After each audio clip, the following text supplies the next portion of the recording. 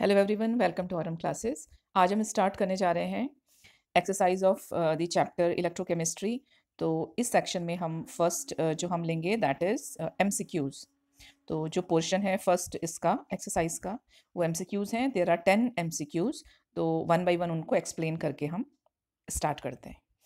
तो first MCQ है students आपके स्क्रीन पे. Two solutions have the ratio of their concentration 0.5 and ratio of their conductivities 0.216 the ratio of their molar conductivities will be. तो यहाँ पे आप हमको दिया है कॉन्सेंट्रेशन का रेशियो मतलब जो C है स्टूडेंट यहाँ पे हमको C का रेशियो दिया है।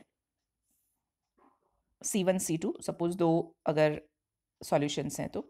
एक रेशियो दिया है कंडक्टिविटी का मतलब हमको के का रेशियो दिया हुआ है K one K two so this is the ratio of conductivity और हमसे पूछा है मोलर कंडक्टिविटी का रेशियो तो जो रिलेशन होता है molar conductivity conductivity and concentration का, वो जो रिलेशन है, वो हम देखते हैं। तो now this is the relation molar conductivity is proportional to molar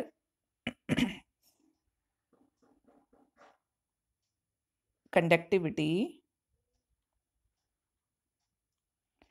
divided by molar concentration तो यहाँ पे conductivity divided by molar concentration होगा। एक second this is conductivity divided by concentration तो ये हमको ये मोलर कंडक्टिविटी बनाता है।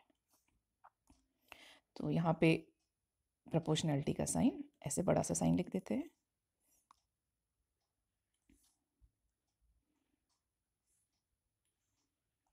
So this is the relation तो वन बाई वन देखेंगे स्टूडेंट्स हम। पहले हम देखते हैं कॉन्सेंट्रेशन के लिए तो कॉन्सेंट्रेशन के लिए आप देखेंगे कि C one by C two का जो रेशियो दिया है हमको कॉन्सेंट्रेशन का, वो है ज़ीरो पॉइंट फोर या zero point four divide by one भी आप लिख सकते हैं।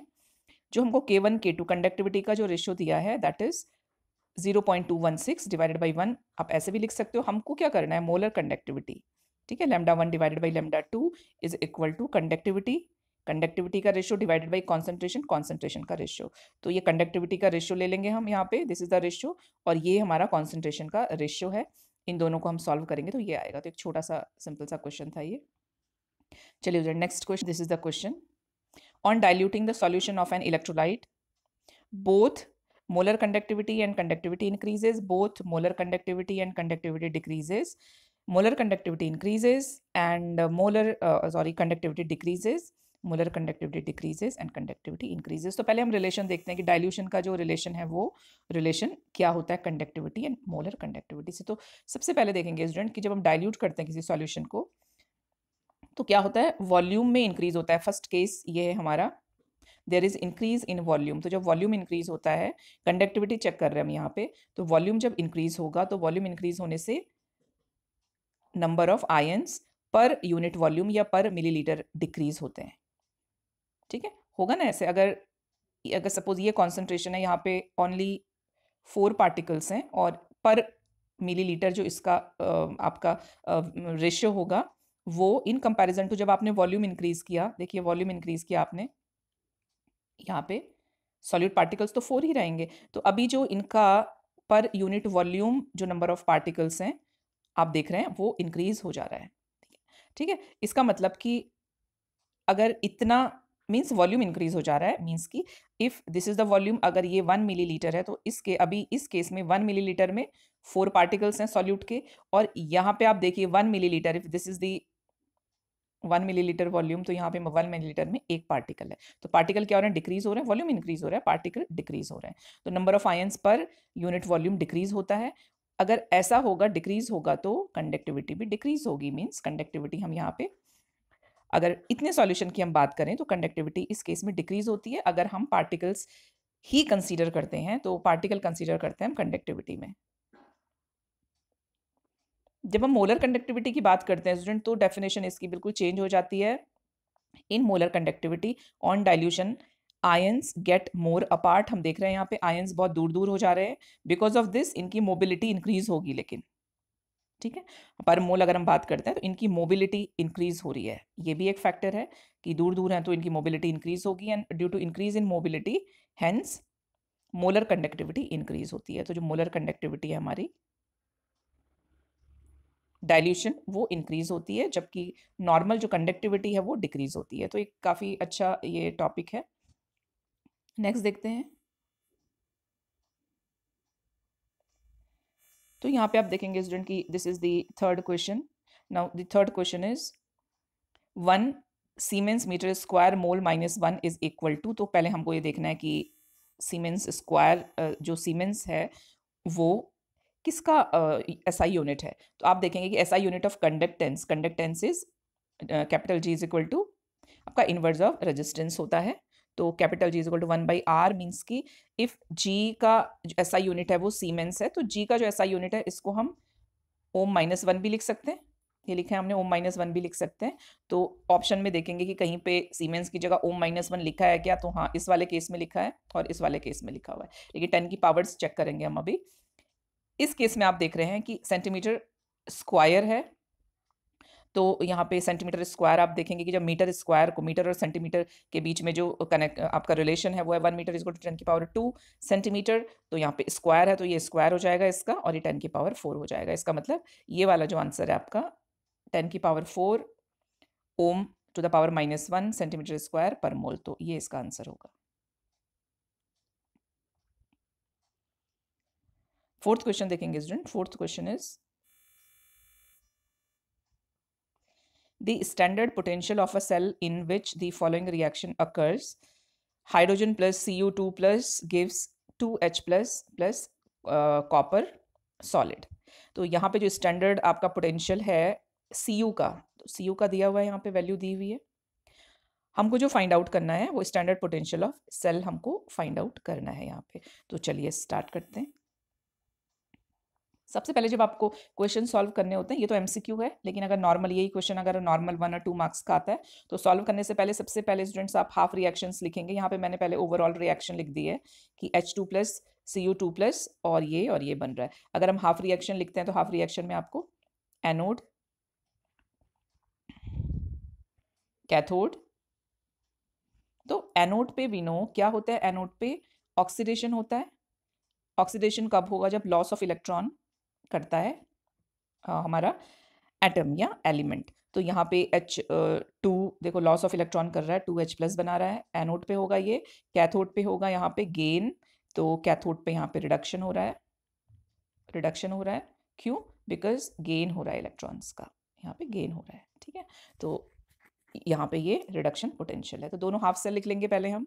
इसके बाद हम इक्वेशन पे आएँगे स्टूडेंट्स तो इक्वेशन होता है हमारा standard potential of the cell is equal to cathode का स्टैंडर्ड पोटेंशियल माइनस एनोड का स्टैंडर्ड पोटेंशियल तो यहाँ पे आ, हमको मालूम है कि कैथोड का जो है वैल्यू कैथोड पे क्या हो रहा है? दो इलेक्ट्रॉन्स है यहाँ पे गेन कर रहा है और सी यू बन रहा है। जब हम हाइड्रोजन की बात करते हैं स्टूडेंट यहाँ पे कॉपर का तो दिया हुआ है वैल्यू हमको। हाइड्रोजन का स्टैंडर्ड इलेक्ट्रोड पोटेंशियल ज़ीरो होता है ये हमको मालूम है तो यहाँ पे हम ज़ीरो वैल्यू इसकी पुट कर देंगे। तो ज़ीरो वैल्यू पुट करेंगे तो जो वैल्यू आएगी वो standard potential of the cell की भी 0.34 वोल्ट ही आएगी तो 0.34 volt this is the answer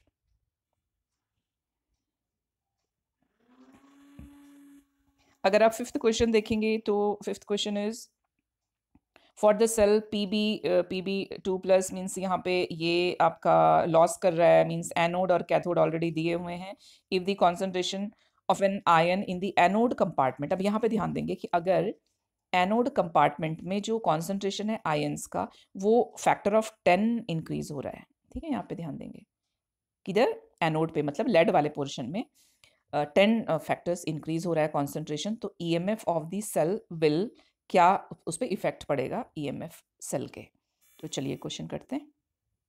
तो अगेन यहाँ पे हम पहले हाफ़ रिएक्शन लिखेंगे। ये हमको बहुत सारे न्यूमेरिकल में प्रॉब्लम समझने के लिए हेल्प करता है तो सबसे पहले आपने यही लिखना है। तो एनोड हम देखेंगे यहाँ पे लेड है, ये इस पर ऑक्सीडेशन हो रहा है। ऑक्सीडेशन हो रहा है कैथोड आप देख रहे हो गेन सिल्वर है, यहाँ पे रिडक्शन हो रहा है। ठीक है? यहाँ पे जो हम वैल्यूज़ कैलकुलेट करने वाले हैं मतलब क्वेश्चन को हम समझने वाले हैं तो with the help of Nernst equation तो Nernst equation we know that cell potential is equal to standard cell potential minus zero point zero five nine two divided by N यहाँ पे एन मोल्स ऑफ़ इलेक्ट्रॉन्स हैं कि कितने electrons आपके इसमें participate कर रहे हैं moles of electron log based N concentration of आपके product divided by concentration of reactant तो यहाँ पे आप देखेंगे स्टूडेंट की कॉन्सेंट्रेशन ऑफ़ प्रोडक्ट आपका divided by concentration of reactant इसमें जो एनोड का कॉन्सेंट्रेशन है, वो टेन टाइम्स इंक्रीज हो रहा है यहाँ पे कॉन्सेंट्रेशन सी यहाँ पे टेन टाइम इंक्रीज हो रहा है तो यहाँ पे आप सिंपली लॉग बेस टेन इसका वैल्यू इसके, जो इंक्रीज है वो आप टेन यहाँ पे लिख देंगे। ठीक है? तो एक्सप्रेशन क्या बनेगा?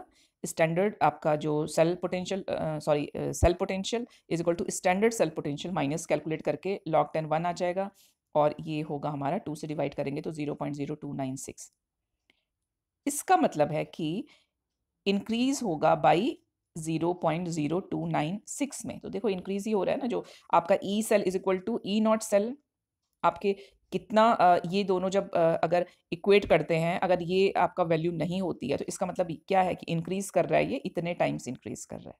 इतना ज़्यादा इसमें ऐड होगा, क्योंकि E naught cell is equal to आप करेंगे तो ई सेल प्लस आ जाएगा ना, इधर आके भी प्लस आ जाएगा। तो ये इसका इंक्रीज बताता है वैल्यू का। Now the six question student consider the half reaction with standard potential यहाँ पे आप कुछ हाफ़ रिएक्शंस दी हैं और आपसे पूछा है strongest oxidising and strongest reducing agent हमको फाइंड आउट करना है। इसके लिए थोड़ा सा आपको जो हमारी इलेक्ट्रोकेमिकल जो सीरीज़ है, उसका आइडिया होना चाहिए। तो पहले हम देखते हैं, देखिए इसमें चेक करते हैं कि सीरीज़ में क्या है।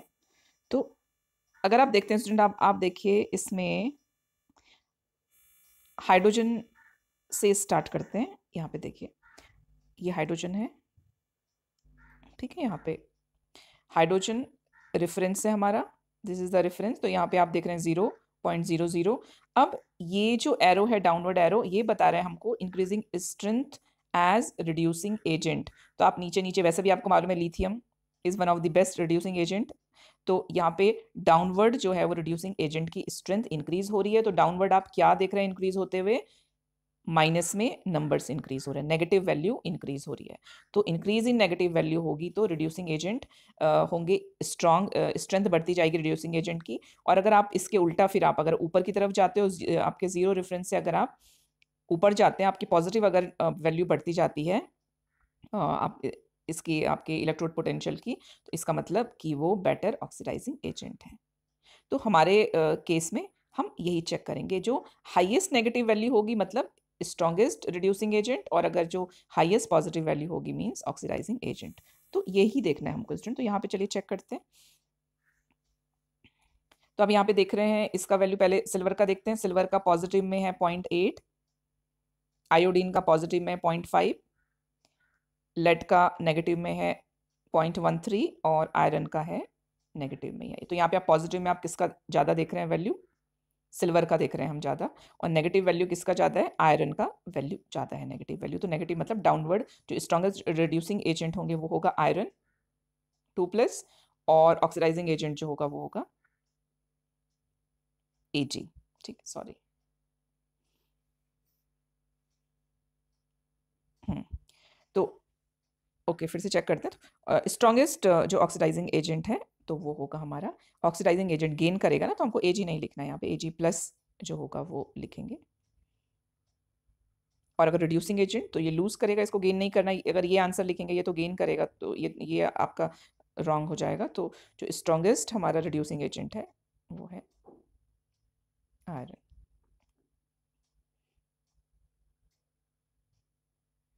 तो ये हमारा आंसर होगा।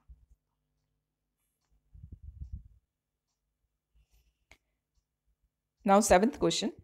Seventh question में स्टूडेंट हमको जो वैल्यूज़ दी हैं, वो देखते हैं एक मिनट। तो दिस इज़ द क्वेश्चन यहाँ पे आपको nickel plus C U two plus gives nickel two plus and copper ये तो सबसे पहले हम हाफ़ रिएक्शन लिखेंगे जैसे पहले भी बताया आपको।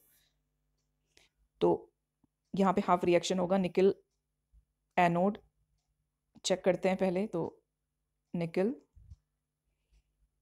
लॉस कर रहा है यहाँ पे। दो इलेक्ट्रॉन, कैथोड, रिडक्शन हो रहा है C U two plus gain कर रहा है टू इलेक्ट्रॉन्स और कॉपर फॉर्म कर रहा है। अब यहाँ पे ये तो हमको पता चल गया कि टू इलेक्ट्रॉन जो नंबर ऑफ़ मोल्स हैं इलेक्ट्रॉन्स के, वो हैं टू फाइंड आउट हमको करना है डेल्टा जी नॉट तो डेल्टा जी नॉट का जो फॉर्मूला है, वो होता है minus n F E naught cell यहाँ पे स्टूडेंट ई नॉट सेल का वैल्यू दिया हुआ हमको ज़ीरो पॉइंट फाइव सेवन तो माइनस मोल्स ऑफ़ कितने हैं? इलेक्ट्रॉन्स कितने कंट्रीब्यूट कर रहे हैं? टू इंटू एफ़ का वैल्यू है ninety six five hundred into E naught cell का जो वैल्यू है, वो है इतना। जब हम इसको कैलकुलेट करेंगे तो हमको जो वैल्यू मिलेगी, वो मिलेगी one one zero zero. One one zero zero, one zero. So this is the value in joule answer क्योंकि हमको किलो जूल में दिया है तो हम इसको one one zero round up करके आप टेन की power three joule means kilo joule one one zero, kilo joule so this is the answer मतलब बी वाला आंसर होगा। एट्थ कॉन्सेप्ट बेस्ड क्वेश्चन है स्टूडेंट्स इसको देखेंगे हम। तो इसमें आपको not correct which of the following is not correct ये हमको इसमें चूज़ करना है। वन बाई वन हम एक्सप्लेनेशन देखते हैं। The first is gives energy is an extensive property तो दिस इज़ करेक्ट इसका एक्सप्लेनेशन भी लिखा है मैंने यहाँ पे। क्यों करेक्ट है ये? ये इसलिए करेक्ट है कि गिप्स आपकी गिप्स एनर्जी में क्या होता है? It's magnitude depends on amount of substance in the given thermodynamic state ये अमाउंट ऑफ़ सब्सटेंस पे डिपेंड करता है गिप्स एनर्जी का इंक्रीज एंड डिक्रीज इसलिए ये एक्सटेंसिव प्रॉपर्टी है। इलेक्ट्रोड पोटेंशियल और सेल पोटेंशियल इंटेंसिव प्रॉपर्टी क्यों है? क्योंकि it is the energy needed to move a charge particle तो इससे फ़र्क नहीं पड़ता कि अमाउंट कम या ज़्यादा है। इसको कितने चार्ज पार्टिकल्स मूव करने हैं, उस पर डिपेंड करता है। Do not depend on amount of substance involve that is why this is intensive property और electric work is equal to negative delta G ये हमारे डेल्टा जी के डेरिवेशन में भी आता है। तो येस यहाँ पे नेगेटिव साइन आता है। क्यों होता है ऐसे? कि आप जितना भी वर्क डन कर रहे हो इलेक्ट्रिक वर्क डन क्या है इसमें? इलेक्ट्रिक वर्क डन जब हम करते हैं तो डिक्रीज इन गिप्स एनर्जी होता है। इसलिए यहाँ पे माइनस का साइन आता है इसमें। डिक्रीज इन गिप्स एनर्जी क्यों होगा स्टूडेंट कि जितना आपका जो एनर्जी आपके वर्क डन के लिए प्रोवाइड होती है एक्चुअल में वो जो एनर्जी होती है, वो गिप्स एनर्जी होती है, इसलिए उतनी एनर्जी में माइनस हो रहा है। ठीक है? तो आपके गिप्स एनर्जी एक तरीके से आपके एनर्जी जो खुद को अवेलेबल करती है वर्क डन करने के लिए, वो एनर्जी है। तो अगर वर्क डन होगा तो इसमें डिक्रीज होगा, इसलिए नेगेटिव वैल्यू आती है। और इलेक्ट्रिक वर्क डन है तो फिर कैसा वर्क है ये? ये चार्ज, कितने चार्ज कैरी कर रहे हैं इसको? ई सेल को, यहाँ पे थोड़ा मिस प्रिंट हो गया। यहाँ पे लिख देते हैं। इसका मतलब है कि W is equal to Q into standard potential ठीक है, ये इलेक्ट्रिक वर्क डन है।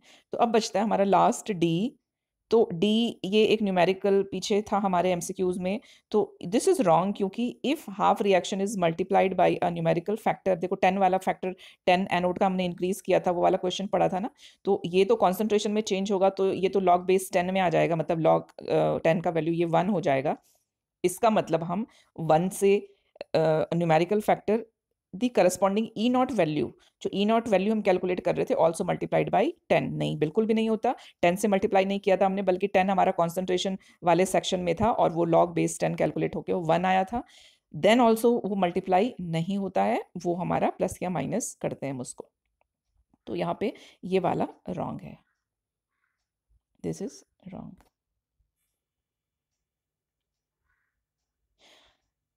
next question है स्टूडेंट ये हमारा लेड स्टोरेज बैटरी से क्वेश्चन था। The oxidation reaction that takes place in lead storage battery during discharge is तो ये रिएक्शन होती है तो ये तो लर्न करना है, इसमें कोई आपका कैलकुलेशन नहीं है। दिस इज़ द रिएक्शन तो वैसे पोर्शन रिड्यूस्ड है सिलेबस से, लेकिन मैं क्वेश्चंस ले रही हूँ, फ़िलहाल वो भी जो रिड्यूस्ड हैं। Next student very important very important and very easy आपका ये एक्सप्रेशन है तो इसको देखेंगे क्वेश्चन को पहले। Which of the following expression represent molar conductivity of aluminium sulphate तो एल्यूमिनियम सल्फेट का मोलर कंडक्टिविटी को रिप्रेजेंट करने के लिए सबसे पहले तो आपको क्या लिखना है? इसको स्प्लिट करना है A L two S O four whole thrice को।